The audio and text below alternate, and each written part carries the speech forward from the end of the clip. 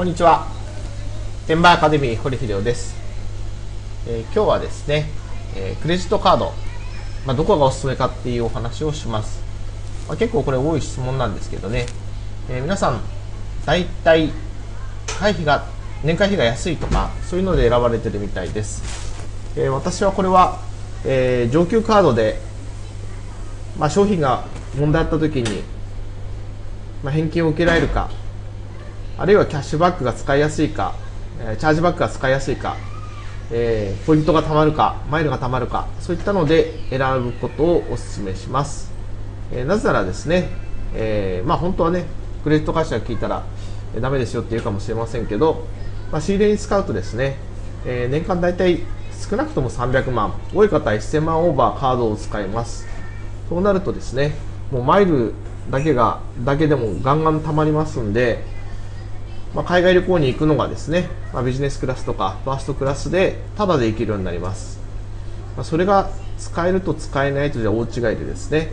えー、会費を払ってマイルがたくさんつくカードを使えば、えー、行きやすくなりますし、えー、マイルがあまりたまらないカードだといろいろ面倒くさいことをしたり、えあるいはそもそもたまらなかったりします。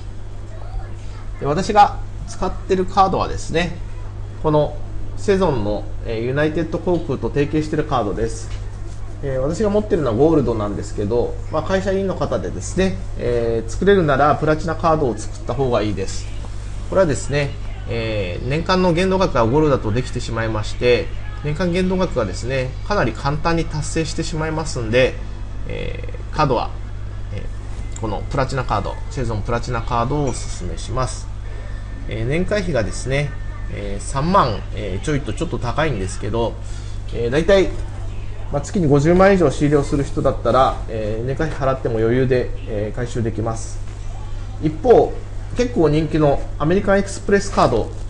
れは正直ですねあんまり使い勝手が良くないです、えー、結構ねあの仕入れの時に否認されることも多いですし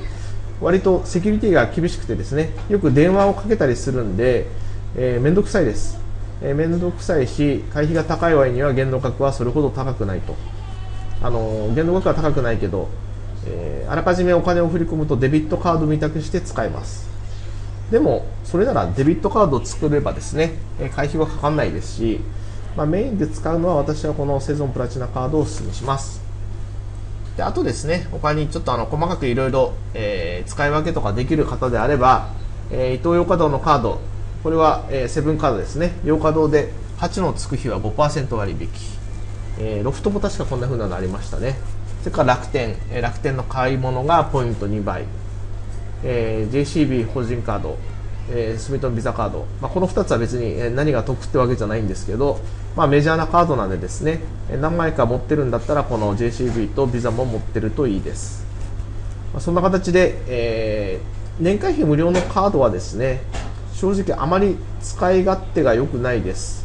まあ、ただ無料なんで、えー、いっぱい作っとく分にはいいんですけどその時一つ注意しなきゃいけないのは、えー、キャッシングをですね0円にしといてください。これキャッシングをつけとくとですねそのキャッシング分はあの借りてるっていう風に信用情報上見なされますんで後からカードを作ろうと思った時にもう作れなくなっちゃったりとかあとはあの普通のカードローンの方が全然金利安いんでですね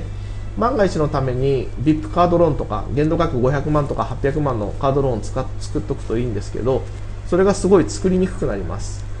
ですのでクレジットカードを作るときは、えキャッシングを0円にしてください。これね0円にするっていうのを選べないカードが多いです。なんて言ったってそこが一番のね儲けどこなんで。ですのでこれはわざわざ作った後に自分で電話してキャッシングを0円にしてくださいというのをすぐ間髪入れずやってください。大体、えー、作って1ヶ月以内に、えー、これを頼めばですね信用情報に載らないことが多いです。またカードの作り方についてはですね会員の方はご質問ください、えー、私はあの住宅ローンを通す仕事をしてたんで、えかなりその信用情報どう出るかとかうんぬんっていうのは、え詳しいです。ただこれみんなが見てるとこでね話せないこともいっぱいあるんで、え会員の方でカードを作る相談があった場合には、えお気軽にお問い合わせください。以上。天満アカデミー堀秀夫でした。